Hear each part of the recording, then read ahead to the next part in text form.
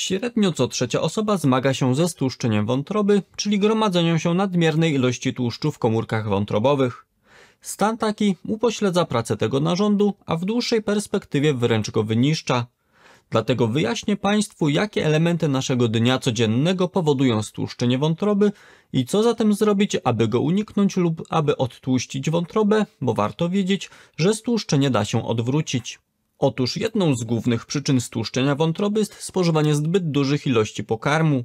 Mówiąc bardziej fachowo, mam tu na myśli oczywiście przejadanie się i dostarczanie nadmiernych ilości kalorii w porównaniu do naszego zapotrzebowania energetycznego.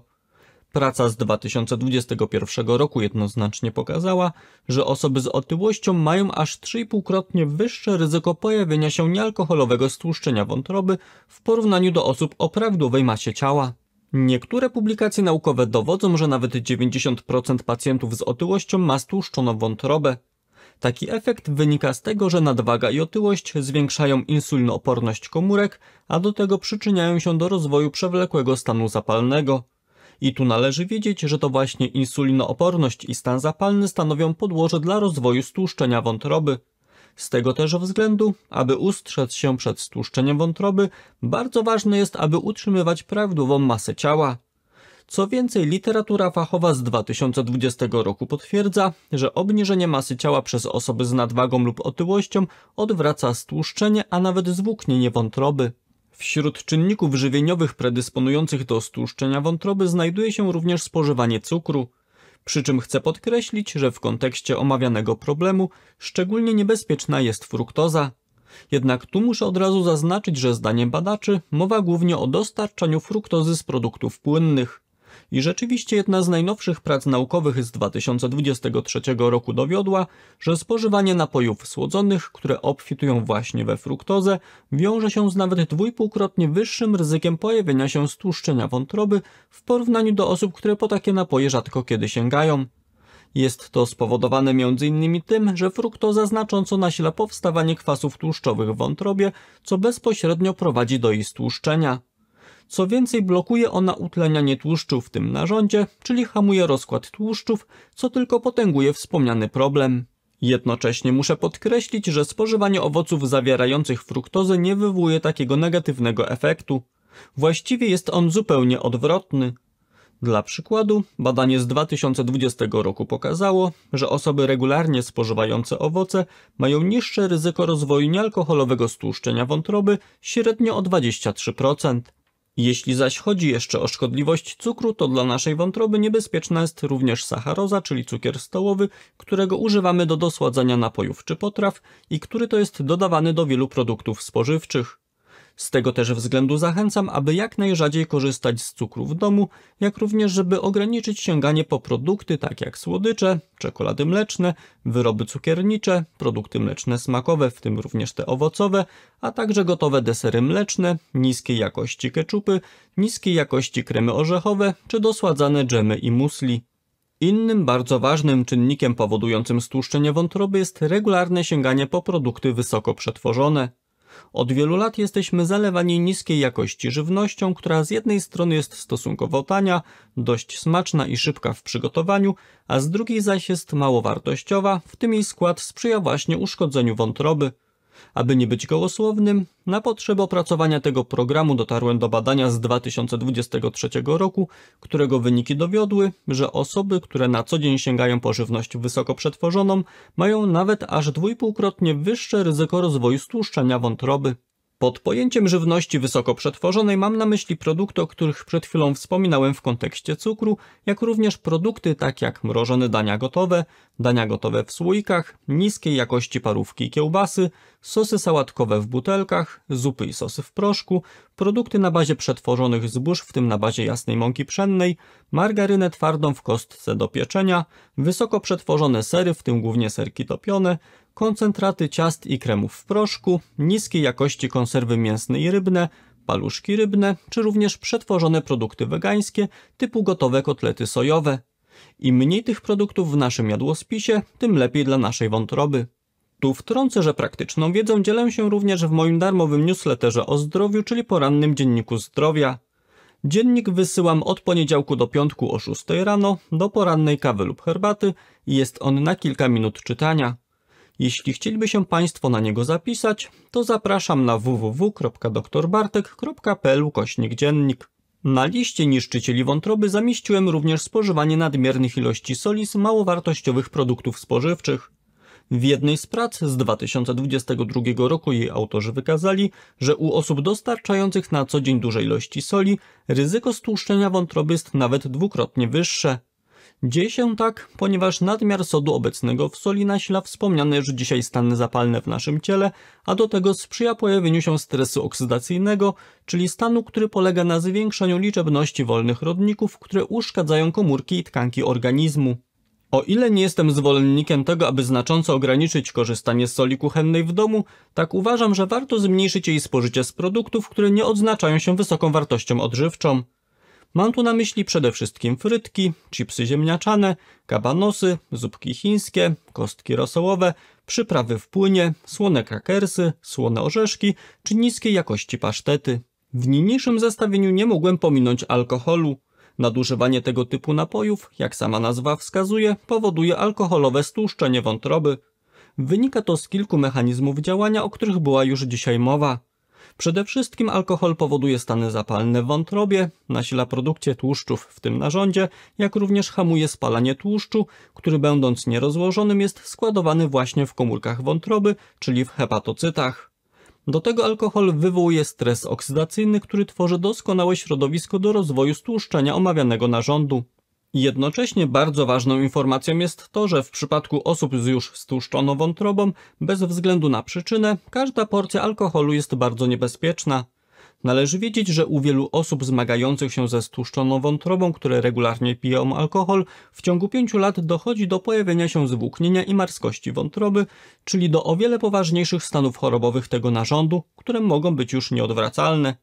Pozytywną informacją jest jednak to, że w początkowej fazie stłuszczenia wątroby, po około 1 do 2 miesięcy od zaprzestania spożywania alkoholu, dochodzi do regeneracji wątroby i jej odtłuszczenia. Innym czynnikiem przyczyniającym się do stłuszczenia wątroby jest spożywanie zbyt małych ilości choliny wraz z pokarmem. Nie wdając się w biochemiczne zakamarki mogę powiedzieć, że niedobór choliny nasila lipogenezę wątrobową, czyli powstawanie tłuszczu w wątrobie, który gromadząc się w tym narządzie prowadzi do jego stłuszczenia. Od razu chcę też podkreślić, że niskie spożycie choliny wraz z dietą jest szczególnie niebezpieczne u osób, które już mają stłuszczoną wątrobę. Jedna z prac naukowych opublikowana ponad 10 lat temu jednoznacznie pokazała, że dieta uboga w cholinę znacząco zwiększa ryzyko zwłóknienia wątroby u osób ze stłuszczeniem tego narządu. Mówiąc prostszymi słowami, brak choliny sprawia, że stłuszczenie wątroby przekształca się do jeszcze poważniejszego stanu, jakim jest właśnie zwłóknienie. Osobom zainteresowanym powiem, że spośród wszystkich produktów spożywczych największej ilości choliny znajdziemy w żółtkach jaj. Warto wiedzieć, że zaledwie jedno żółtko pokrywa nasze dobowe zapotrzebowanie na cholinę w około 30%, co oznacza bardzo dobry wynik. W przypadku zaś, gdy nie spożywamy regularnie jajek, to bardzo trudno jest dostarczyć zadowalające ilości choliny wraz z innymi produktami spożywczymi. Niemniej stosunkowo dużo tego składnika zawierają też produkty takie jak wołowina, mięso drobiowe, ryby w tym szczególnie dorsz i łosoś, a także podroby w tym wątróbka, serca i nerki.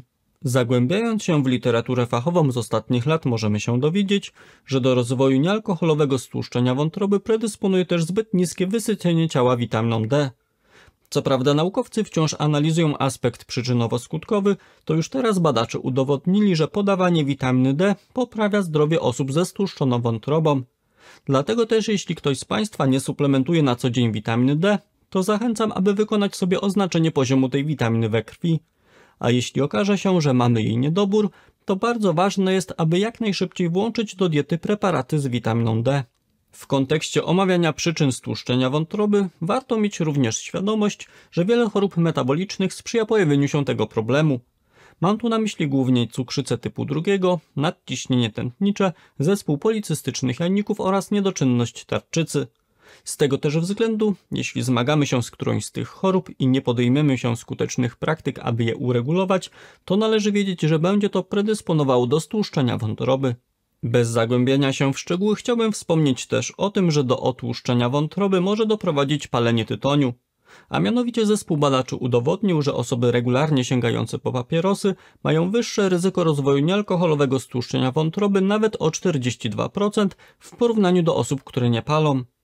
Jednocześnie ci sami naukowcy wykazali, że długotrwałe palenie tytoniu wiąże się również z wyższą zachorowalnością na zwłóknienie omawianego narządu. Do czynników sprzyjających stłuszczeniu wątroby zaliczam również nadużywanie niektórych leków. Przede wszystkim mam tu na myśli NLPZ, czyli niesteroidowe leki przeciwzapalne. W tej grupie znajdują się leki takie jak ibuprofen, aspiryna, naproxen, diklofenak, ketoprofen czy piroksykam. O ile ich stosowanie jest uzasadnione w wielu przypadkach, tak niestety osobiście spotykam się z sytuacjami, że ochoczo zbyt często po nie sięgamy. A to, że leki te są sprzedawane w wielu różnych miejscach bez recepty, tylko sprzyja takiej praktyce. Dlatego też odradzam ich częste stosowanie, jeśli nie wynika ono z zaleceń specjalisty. Jeśli już Państwo wiedzą, jakie elementy dnia codziennego sprzyjają stłuszczeniu wątroby, to teraz jeszcze krótko chciałbym powiedzieć, w jaki sposób można rozpoznać ten problem. Otóż złotym standardem diagnostycznym jest badanie histopatologiczne wycinka wątroby. Niemniej jest to niestety metoda inwazyjna. Dlatego myślę, że na początek najbardziej optymalnym rozwiązaniem będzie wykonanie USG wątroby. Przy czym z kolei w tym przypadku to badanie obrazowe może okazać się zawodne, jeśli mamy do czynienia z niewielkim stopniem stłuszczenia wątroby. Wielokrotnie można zaś spotkać się z opinią, że wartościową metodą diagnostyczną jest zrobienie sobie prób wątrobowych, czyli oznaczenie aktywności enzymów wątrobowych takich jak ALAT i ASPAT, czyli aminotransferazy alaninowej i aminotransferazy asparaginianowej. Moim zdaniem jednak badanie to jest bardzo mało specyficzne. Mam na myśli to, że za podwyższeniem prób wątrobowych kryje się bardzo wiele różnych przyczyn. I co więcej, w przypadku stłuszczenia wątroby niejednokrotnie są one w normie. Od siebie jeszcze dodam, że stłuszczeniu wątroby stosunkowo rzadko towarzyszą jakiekolwiek objawy, przynajmniej w początkowym stadium choroby. Niekiedy jednak mogą pojawić się dolegliwości takie jak ogólne przewlekłe zmęczenie i osłabienie, pogorszone samopoczucie, jak również uczucie dyskomfortu w górnej części brzucha po jego prawej stronie. O wiele więcej oznak pojawia się zaś w przypadku, gdy stłuszczenie wątroby przerodzi się w jej marskość. Jeśli okaże się, że mamy stłuszczoną wątrobę, to aby nie dopuścić do dalszych powikłań, które jak już wspomniałem mogą być nieodwracalne, należy podjąć się szeregu odpowiednich praktyk. Przede wszystkim należy wystrzegać się tych czynników, o których była dziś mowa.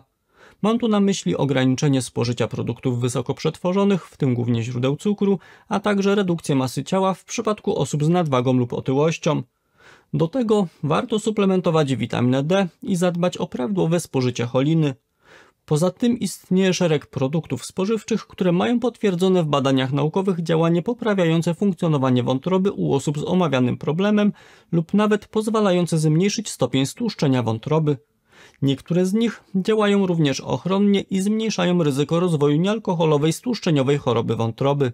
Bez szerszego omawiania wymienię teraz jakie są to produkty – Otóż wśród najważniejszych mamy czosnek, imbir, kurkumę, zielone warzywa takie jak rukola, sałata, szpinak, kapusta, brokuły brukselka, a także kiełki brokułu. Ponadto wysoce korzystne mogą być też różnego rodzaju orzechy oraz nasiona czarnuszki, siemielniane i wysokiej jakości oliwa. Do tego dobry efekt może przynieść też spożywanie zielonej herbaty i kawy. Jak się okazuje, działanie ochronne wykazuje również propolis. Niepodejmowanie się praktyk zmniejszających stopień stłuszczenia wątroby prowadzi do stopniowego jej uszkodzenia i w końcu nieodwracalnej marskości. Dlatego też warto wystrzegać się czynników, o których powiedziałem i włączyć do jadłospisu produkty działające ochronnie na wątrobę.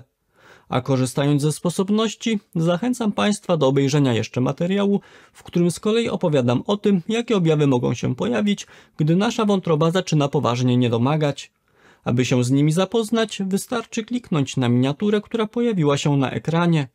A na dziś z mojej strony to wszystko. Dziękuję za uwagę i do zobaczenia w kolejnym odcinku.